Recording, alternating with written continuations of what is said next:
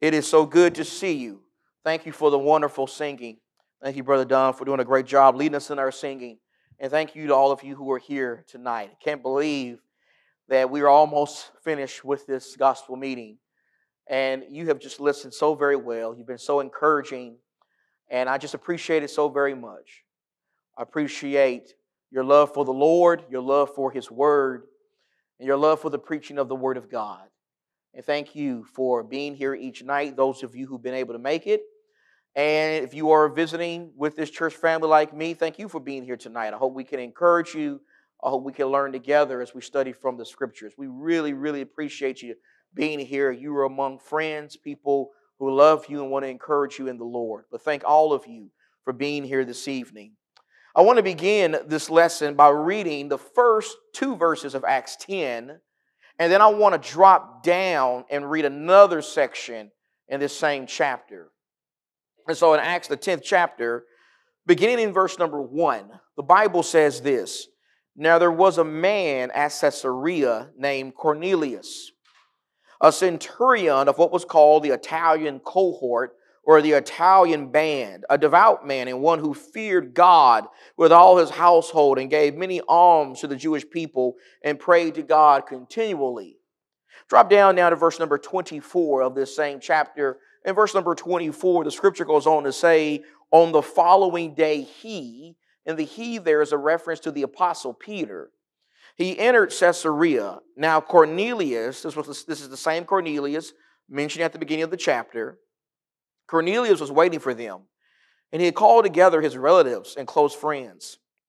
When Peter entered, Cornelius met him and fell at his feet and worshiped him. But Peter raised him up, saying, Stand up. I too am just a man. As he talked with him, he entered and found many people assembled, and he said to them, You yourselves know how unlawful it is for a man who is a Jew to associate with a foreigner or to visit him, and yet God has shown me that I should not call any man unholy or unclean. That is why I came without even raising any objection when I was sent for. So I ask, for what reason you have sent for me? Why? Why am I here? What in the world am I doing here? You ever found yourself asking that question before? I suspect that there are several people in the Bible who probably asked themselves that question. For example, the Apostle Paul.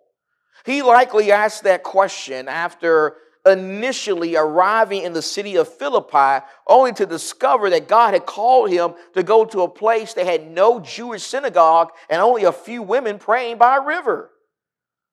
The Apostle Paul probably initially arrived in Philippi and asked the question of, Why am I here? What in the world am I doing in a place like this? And then Philip the evangelist? Philip the evangelist in Acts chapter 8, he may have also initially asked this question before coming into contact with an Ethiopian eunuch on a deserted road that descended from Jerusalem to Gaza. And then, based on what we just read here in Acts 10 and verse 26, the Apostle Peter clearly asked that question upon entering the house of a man named Cornelius. Cornelius. Brothers and sisters, who was Cornelius? Well, based on the first two verses we read in this chapter, Cornelius was a centurion who lived in the prominent Roman city of Caesarea. He lived in a city called Caesarea Maritima, and he was a military man. Like we may have some military men in the room tonight. And he was a good man, and he was a moral man, and he was a man who feared God. And he was a man who also led his family in the ways of God, and he helped God's people. He actually gave money to the Jewish people, and he was a man of prayer, and he was devout, and he was upright, and he was highly respected in his society. But, and this is a big but, he was a Gentile. But he was not Jewish, but he came from the other nations, and even though we are about 20 years removed from the events of Pentecost in Acts chapter 2, when the church was first established, the apostle Peter still, he still has spent no time with a guy like this. He still had never even preached to a guy like this. He still has certainly never even gone in the home of a guy like this, and yet, here he is. Here is where God has led him. Here is where he realizes God wants him to be based on a vision he received from God on a housetop. God wanted Peter to specifically visit this man named Cornelius. In fact, God even had Cornelius send for Peter. And the question is, the question is why? Why? Why did God want this man Cornelius to send for Peter? Well, I want to suggest that there are at least four reasons. There are at least four important reasons why God wanted Cornelius to send for Peter. And the first reason why God wanted Cornelius to send for the Apostle Peter is because being good wasn't good enough. Being good wasn't good enough. I think we need to start with this particular point because for many people, for many people in the world today, this is a radical idea. This is a radical idea. I mean, you ask a lot of people in our time today, what does it take to be right with God? What does it take to go to heaven to be with God? You ask that question to people today, and what the majority of them are likely to say is all you got to do is be a good person. All you got to do is be a good person. You ever heard someone say that before? You ever heard someone suggest that if you want to be right with God, if you want to go to heaven to be with God, all you got to do is be a good person? For me personally, I've heard people say, say that a lot. I hear people say that all the time. Going back to the time when I was just a little boy going to funerals, I can remember standing around people and hearing them say, Well, you know, I know this person has to be in heaven because they were such a good person. He was such a good person. She was such a good person. She would make the best pies and the best cakes and give them to people for free. He would give you the shirt off his back. She was always nice to people. She was always kind to people. I never heard her say anything unkind about anybody. He never missed a church service. He never missed a Wednesday night Bible class. He would always talk about prayer and talk about the need for prayer. He could quote all kinds of scriptures. He was such a wonderful husband. She was such a wonderful wife. They were just such wonderful parents to their children. You see, while most people reject universalism, and universalism is the belief system that in the end, everybody's going to be saved. Nobody's going to be lost. God's love won't allow anybody to be in hell. While most people reject universalism, they do believe this. They do believe that being a good person and doing a bunch of good works is enough to get your ticket punched to heaven. But I want you to notice how the sending of Peter to the house of Cornelius, that blows that notion away. It absolutely blows that notion away. I want you to go now back to the book of Acts. Look at chapter 11. Look at chapter 11. Because in Acts, the 11th chapter, we're fast forwarding the story a little bit. After Peter is finished spending time with Cornelius and his family, after Peter preaches the gospel to Cornelius and his family, he goes back to Jerusalem, to the brethren in Jerusalem, and he tells them about what happened. He tells them about why God wanted him to be there. Because many of the Jewish brethren did not like that. They did not like the fact that Peter went to spend time with a Gentile. Now, they didn't necessarily mind him preaching to a Gentile, they really had a problem with him eating with them. There was a lot of racism in the first century church. That's just a fact. And so Peter has to explain himself. And he has to explain why he went to this man, this Gentile's house. And so he says in verse 12 of Acts chapter 11, in verse 12, the Spirit, the Holy Spirit, told me to go with them. The them there is a reference to some men that Cornelius sent to Peter to bring him to, to his house. And so in verse 12, it says, The Spirit told me to go with them without misgivings. These six brethren also went with me. And we entered the man's house. And he reported to us how he had seen the angel. Cornelius saw an angel standing in his house, saying, Send to Joppa and have Simon, who is also called Peter, brought here. Verse 14.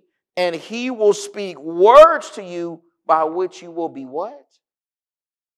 By which you will be saved. You and your household. Now, we've already established, we've already established that at the beginning of Acts chapter 10, when we're first introduced to Cornelius, this is a really good guy. This is a really good guy. This is the kind of guy you want to be a member at the Woodlands Church of Christ. This is the kind of guy you would want to be friends with. This is the kind of guy you would want your daughter to marry. This is a good guy right here. We've already established he's a good guy. He's a man of prayer. He's a giving man. He's a devout man. He's a good leader of his family. I mean, when Acts chapter 10 opens up, he is clearly racking up all kinds of good deeds. And if being good and doing a bunch of good deeds was good enough to be right with God, then why in the world does he have to send for Peter? Why in the world does he have to do what verse number 14 of Acts 11 says he did? Why in the world did he have to still hear words by which he was going to be saved? Why did he have to do that? If being good was good enough to be right with God. You see, Acts 11 and verse number 14 shows us that while Cornelius was a good man who did a bunch of good works, he still wasn't a saved man. He still wasn't right with God. He was still, in fact, lost in his sins. That's what we can infer from that text. And do you know what that means practically? Practically, that means that being a good person can't save you. Being involved in a bunch of good works can't save you. Going to church every single Sunday, that can't save you. Reading your Bible every day, that can't save you. Praying three, four, five times a day, that can't save you. Giving to the poor, being nice, being kind, making pies and cakes for people, visiting the sick, being faithful to your spouse, being a good parent, paying your taxes on time. None of that stuff by themselves can save you. You see, while we certainly need to be obedient to God in regards to every one of those things, none of those things by themselves can save us. Good works can't save us, just like they couldn't save Cornelius. In fact, here's why they can't save us. The reason why they can't save us and the reason why they couldn't save Cornelius is because in Romans 3 and verse 23, the Bible says we're all sinners. Romans 3:23, you know the verse, for all have sinned and fall short of the glory of God. When the Bible says all there, it means it. It means all. It means you, it means me, it even means Cornelius. Cornelius, at the end of the day, no matter how much good he did in his life, he was a sinner. He was someone who had violated the law of a holy God. And because of that, he deserved something. He deserved death. Romans 6:23 says the wages of sin is death. Now the death there in that context, it's not talking about physical death. You know, even innocent precious, sinless babies. They die in this world every single day. That's not talking about physical death, that's talking about spiritual death.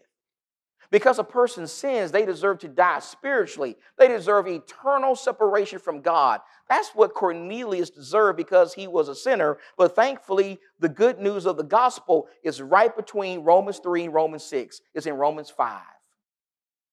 Where the Bible says that even though we're sinners and we deserve to be lost, God still loved us. In fact, God demonstrated that love by sending his son to die on a cross, and through the death of Jesus, we can be justified, reconciled, and saved by his blood. Peter puts it this way in 1 Peter chapter 1. If you go in your Bible, please, with me to 1 Peter chapter 1. The same Peter, the same Peter who preached to Cornelius says this in 1 Peter chapter 1 in First Peter chapter 1 and in verse number 18. In First Peter chapter 1 and in verse 18, as Peter writes to people like in this room tonight, the vast majority of people in this room are Christians. And Peter has this to say to us.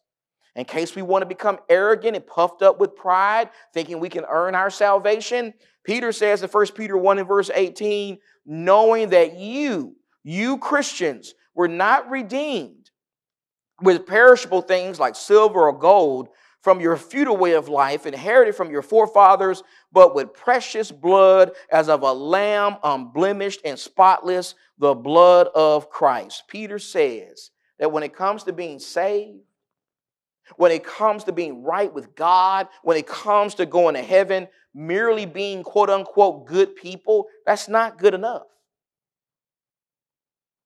being involved in a bunch of good works, that's not going to earn our, our, salvation. Getting to the end of our lives and making sure that our good deeds have outweighed our bad deeds, that's not going to get the job done. Peter says good works don't save us. Instead, the blood of Jesus is what saves us. The blood of Jesus is what redeems us. The forgiveness that is available to us through Jesus that's what makes our salvation possible. In fact, think about this. Think about this.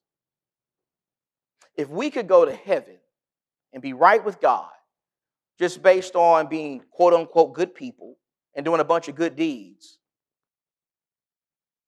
then why in the world did Jesus Christ have to die on the cross? If we could be saved by just being good people, and doing a bunch of good deeds, being nice people and doing good deeds for others. We could be saved just by that. Why did Jesus have to leave being in the perfect presence of his Father?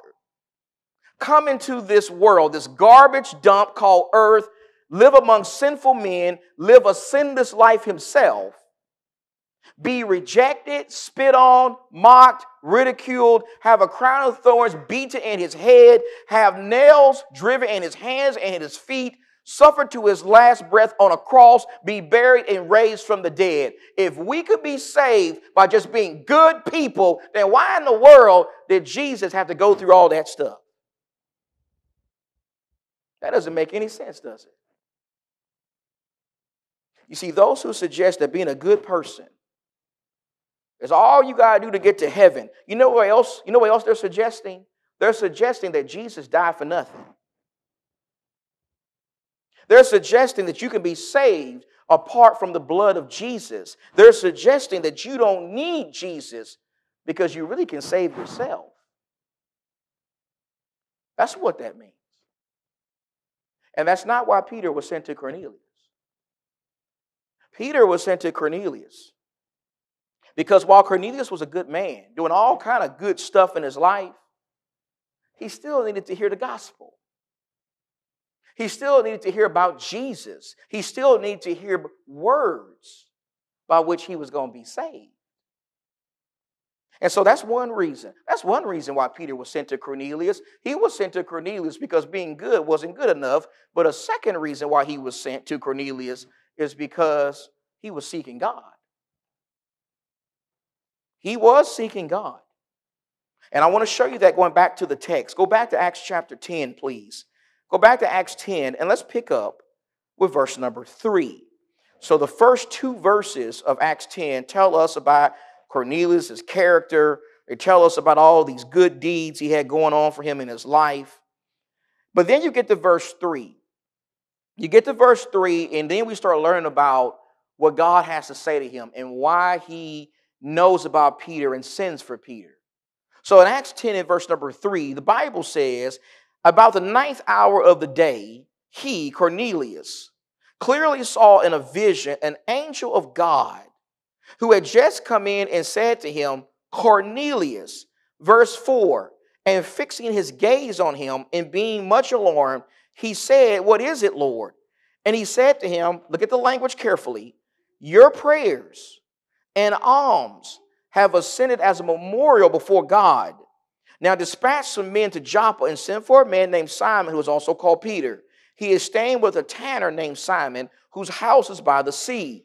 When the angel was, who was speaking to him had left, he summoned two of his servants, servants and a devout soldier of those who were his personal attendants. And after he explained everything to them, He sent them to Joppa. So the verse I want to focus in on, if you don't mind, is verse 4. I want to ask you to please notice carefully verse number 4. Notice how in that verse, an angel of God clearly states that God heard Cornelius. Do you see that? The Bible clearly says that God heard the prayers of Cornelius. God heard his prayers, even though at this time he's not a Christian.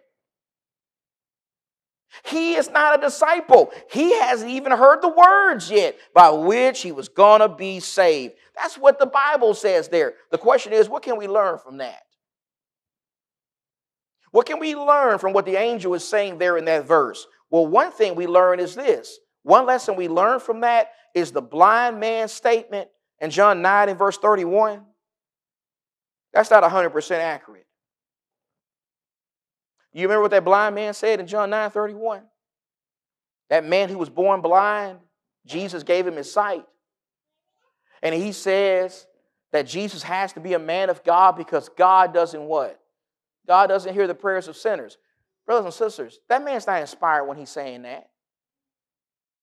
That man's not under the inspiration of the Holy Spirit when he says that. In fact, if that's true, then what are we going to do with that right there? What are we going to do with verse 4? What are you going to do with that? That's a problem. Notice how here, Cornelius is a sinner. He's not a Christian. He has not yet had his sins washed away by the blood of Jesus, but God heard him. God heard his prayers.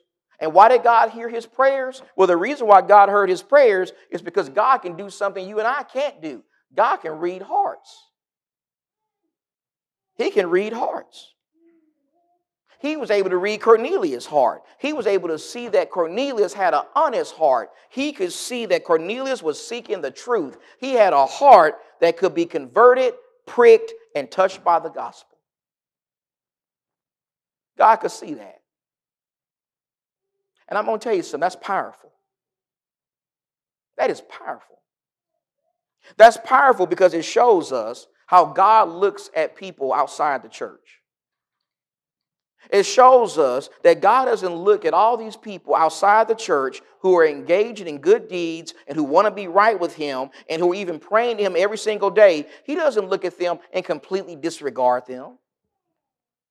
He doesn't fold his arms up in heaven and roll his eyes and say, Well, you know what? I don't care nothing about them. They just to have to find me on their own. I don't care about these people at all. God doesn't do that. He doesn't completely disregard people outside of the church. In fact, drop down to verse 34 of this chapter. Look at verse 34. Because Peter says something interesting in Acts 10 34. When Peter starts to preach, when he gets to the house of Cornelius, it says in verse 34, opening his mouth, Peter said, I most certainly understand now that God is not one to show partiality, but in every nation, the man who fears him and does what is right is welcome to him.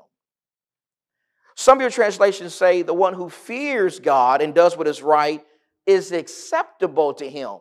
Acceptable to what? Acceptable to what? What does Peter mean when he says that in every nation the man who fears him and does what is right is acceptable to him? Before I tell you what that means, let me first tell you what it doesn't mean. Let me first suggest to you that that language doesn't mean that everyone who fears God and does what is right is going to automatically be saved. It doesn't mean they're going to automatically go to heaven. I mean, if that's what it meant, then Cornelius didn't need to send for Peter. If that's what it meant, Cornelius didn't need to hear words by which he was going to be saved because he was already doing that. He was already fearing God. He was already doing a bunch of good deeds in his life. That's not what that language means. That language does not mean that anyone who fears God and does what is right is automatically going to be saved. Instead, what it means is God is going to work to provide those people with an opportunity it means that God is going to give these people an opportunity to hear and obey the gospel. It means that God is going to help honest, seekers find the truth. That's what that language means. And that's what God does for Cornelius. And maybe that's what God did with you. Maybe as you sit there tonight and think about your own journey, maybe you can think about a time in your own life when you were just like Cornelius. Maybe you could think about a time in your life when you were outside Jesus Christ. You didn't have a relationship with God. You didn't know God. You were walking around in spiritual darkness, but you really wanted to do what was right. You really wanted to serve the Lord. You really wanted to be right with God and do His will in your life, and God knew that. He knew that. He could search your heart and see what was in your heart. And so He providentially worked to bring you into contact with a Christian who could teach you the truth and that Christian taught you the Word of God, and you obeyed the Word of God, and tonight, guess what? You're here as a result of that. Tonight, you're a Christian. You're a member of the Lord's church. You're a disciple. You're truly on a path to heaven. You see, even today, even today, we got to understand God knows who all the Corneliuses are. He knows who they are. He knows where they are, and we need to be praying every day that God will use us to reach those people. We need to be praying every day that God will put us into contact with the Corneliuses. We need to be praying that God will bless us to find those people and that God will use us to be the people who will speak words to them by which they will be saved. That's why God sent Peter to Cornelius. Peter goes to Cornelius because God knew he was seeking. He knew this man had an honest heart who could be touched by the gospel. In fact, that brings us to a third reason. A third reason why Peter is sent to this man. And that's because God wanted to emphatically announce to the world in a practical way that the gospel is for everybody. The gospel is for everybody. That is, in fact, why this story here, this story here in Acts 10, that is why this is such an important moment in human history. That is why this is such a critical conversion story in the book of Acts. You see, we got to understand, my dear friends, that up to this point in the book of Acts, the gospel's really only been preached to the Jews. Even though the church has been in existence for about 20 years, up to this point, the gospel has only been preached to people who were Jewish or half Jewish, or they've been proselytized into the Jewish faith. It has not yet been preached to people like us. It has not yet been preached to people from the other nations, the people who are Gentiles. But when Peter arrives at Cornelius' house, that's about to change. Now the gospel is about to be preached to the nations. And that's what God always wanted. We see that as early as Genesis, the 12th chapter. You're familiar with the promises made to Abraham? One of those promises was that through someone coming in Abraham's family, God was going to bless all the nations. All the nations were going to have access to having a relationship with God through the Messiah who would come through the family of Abraham. That was God's will going all the way back to Genesis 12. And then go in your Bible to a few passages in the Old Testament, please, like Isaiah chapter 2, where 700 years, at least 700 years before the coming of the Messiah, the prophet Isaiah said these words in Isaiah chapter 2 and verse number 2, and Isaiah chapter 2 and verse 2. It says, Now it will come about in the last days. That's the days of the Messiah, the days of the kingdom of God, the days of the new covenant, the days of the, of the, of the church. Now it will come about in the last days, the mountain of the house of the Lord will be established as the chief of the mountains, and will be raised above the hills. And here's the key part all nations, not some nations, not just the Jewish nation, all nations will stream into it. It's always been God's will for us to have a chance to be in His family. God's always wanted us as Gentiles. What a blessing that is. He's always wanted us. In fact, blow the dust off of the book of Hosea, one of the minor prophets. We go to Hosea chapter 2, and you go to Hosea chapter 2 and you look at verse number 23 as God speaks through the prophet Hosea here, Hosea chapter 2 And in verse number 23, he says, I will sow her for myself in the land. I will also have compassion on her who had not obtained compassion. And I will say to those who were not my people, that's us, the Gentiles, they were not God's people under the old covenant. And God says there was going to come a day when I will say to those who are not my people, You are my people, and they will say, You are my God. Paul quotes this very passage in the book of Romans to make the point that God's always wanted the Gentiles. He's always wanted us to have a chance to be part of his family, to be adopted in his family and be heirs of spiritual blessings. Understanding that makes Mark 16, 15 even more powerful. When before ascending into heaven to sit at the right hand of God, what did Jesus say to his apostles? The last thing he said to them before he goes to heaven in Mark chapter 16 and verse 15 go into all the world and preach the gospel not to some creation, to all of it, to all creation. You see the point. You see the point. God wants everybody. God wants all the nations. He wants me and He wants you. And the sending of Peter to preach the gospel to Cornelius, it proved that. It marked the moment in history, in human history, when the gospel officially began to be preached to people like us. It marked the moment in human history that demonstrated that Jesus was telling the truth in John 3 and verse 16 when he says God loves the world. Jesus was telling the truth when he says that he came to die for all people. God really does want all people to be saved. God really doesn't show partiality among men, as Peter declares in Acts 10 34.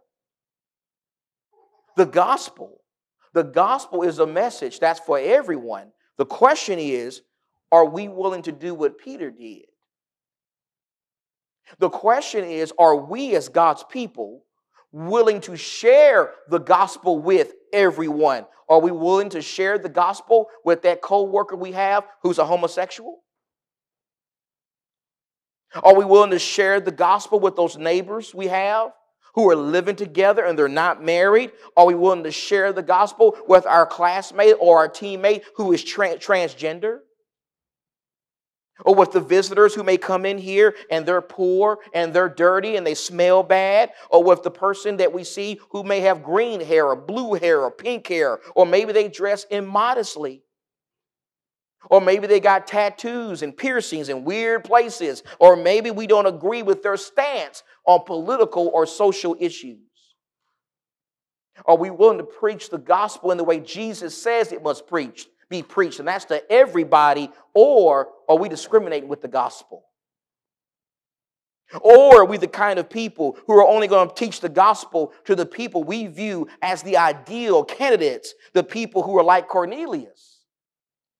The people we view as the good people, the people who have a good job and make a good six figure salary and they're clean and they smell good and they are religious already and they believe in God and believe in Jesus and they look like us, talk like us, smell like us. They're already in scriptural marriages. They got big homes with white picket fences and 2.5 kids. They don't appear to have a lot of baggage in their lives. Are those the kind of people?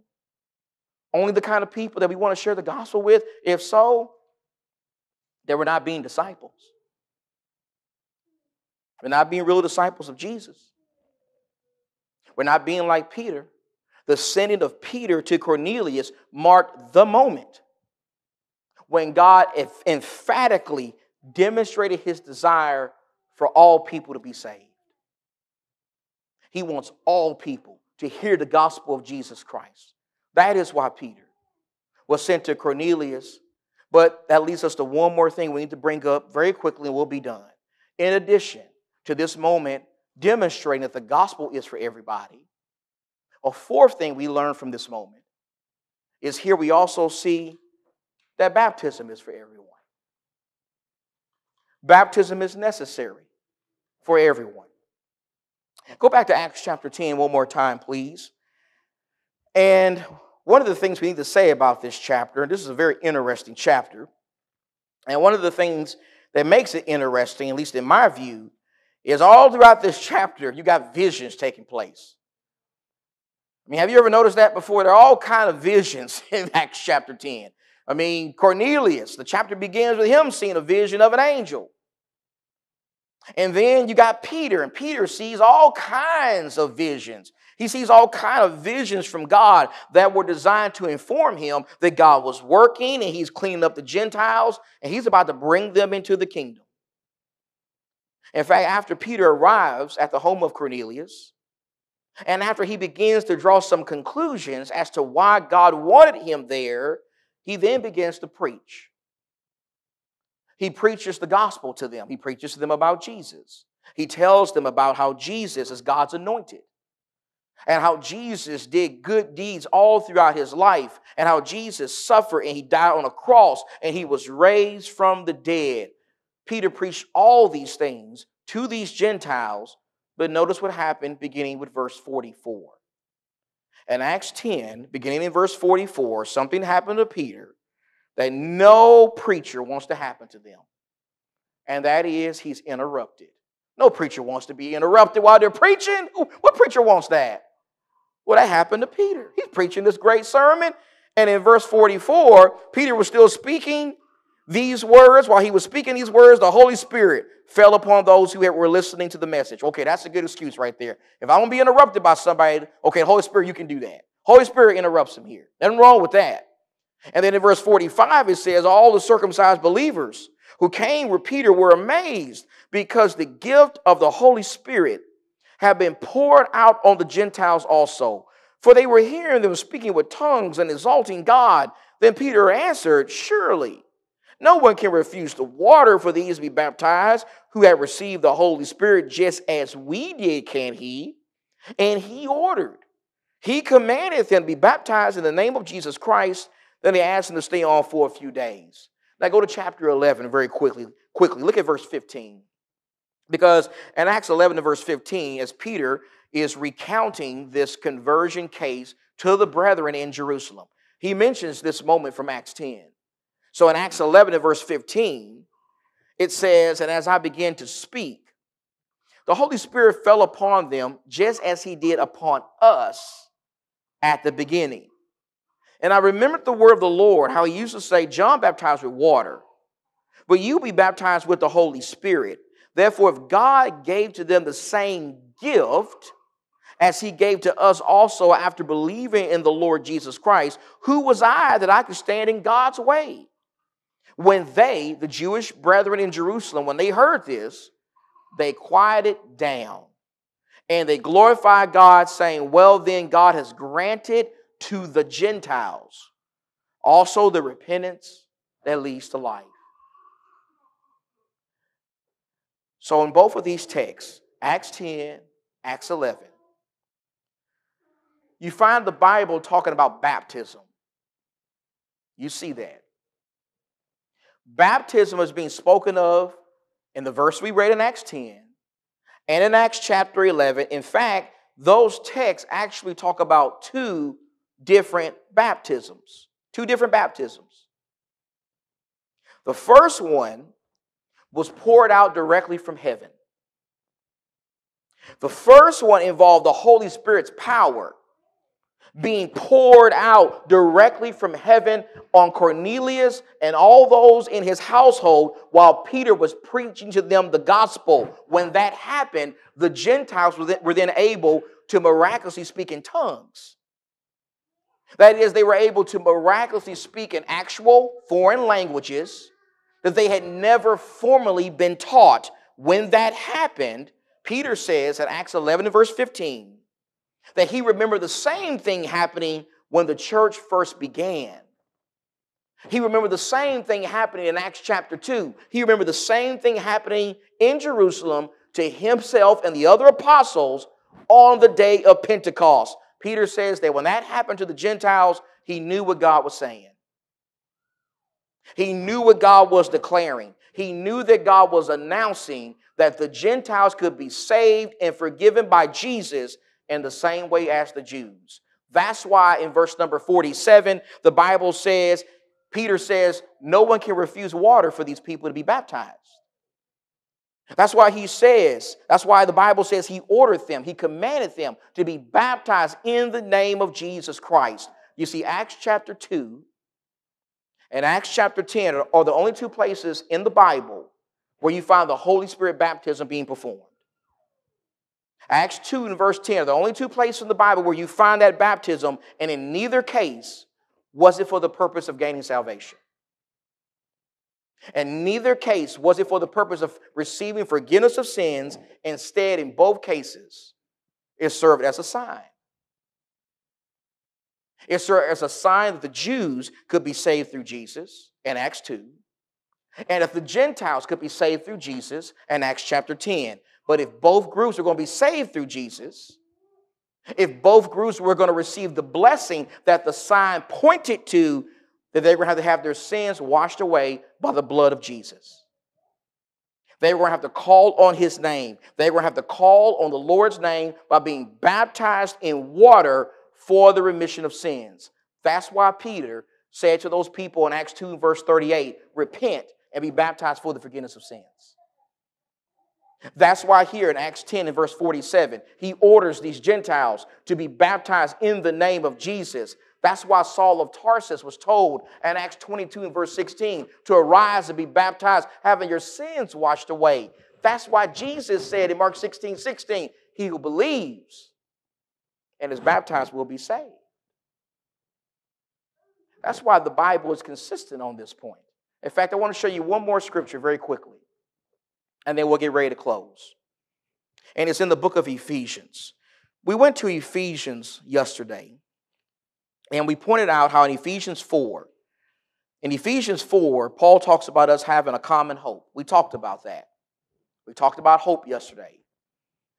Well, there's something else that Paul talks about here that we need to emphasize for this particular lesson. And so in Ephesians 4 and verse 4, he says there's one body. One body that's the church, the universal body of saved people, in one spirit. Just you were also called in one hope of your calling, one Lord, one faith, one baptism, one God and Father of all, who is over all and through all and in all. I want to key in for the purpose of this lesson, verse number five. I want you to notice how by the time Paul wrote this letter, and he wrote the Ephesian letter in about 61, 62 AD, somewhere in there. And by the time Paul wrote this letter, about 30 years after the church was first established, he says there was only one baptism in force. There was only one baptism by this time that was being administered that had God's approval. And the question is, what was that one baptism? Well, I submit to you that the one baptism that Paul is speaking of in this verse is not the baptism that served as a sign. It is not the baptism that served as a sign that the Jews could be saved through Jesus and that the Gentiles could be saved through Jesus. Instead, it is the baptism that Cornelius and his family were ordered to submit to after Peter figured out what the sign meant. It is the baptism performed by disciples. It is the baptism in water for the forgiveness of sins. That's the one baptism of Ephesians 4 and verse 5. And that shows us that water baptism is necessary. It is necessary. It was necessary for Cornelius and his family. It was necessary for those Jews in Acts chapter 2. It's necessary for you. It's necessary for me. It's necessary for all people to have their sins washed away by the blood of Jesus. Now, what I just want you to see is there's a lot going on here. But there's a reason why it all got started. There's a reason why God wanted an apostle to go to the house of Cornelius. Cornelius needed to send for Peter because he needed to understand that being good wasn't good enough. And because God knew this man was seeking, and because God wanted the world to know that the gospel is for everyone, and not just that, but baptism and water for remission of sins. That's also necessary for everyone. These are some of the reasons why Peter was sent to this man. And the question is, what about you tonight? The question is, as you sit there in that pew on this Tuesday night, do you sit there and realize that you need to do what Cornelius needed to do? Do you realize that even though you may be doing a lot of good deeds in your life, none of that is going to earn you salvation? None of that is going to merit God's grace. You need to submit to God on His terms by believing in His Son by acting on the words of the gospel and confessing Jesus as Lord, repenting of your sins, and being baptized in water for the forgiveness of sins, just like Cornelius and his family did 2,000 years ago. That's what you need to do if you're not a Christian.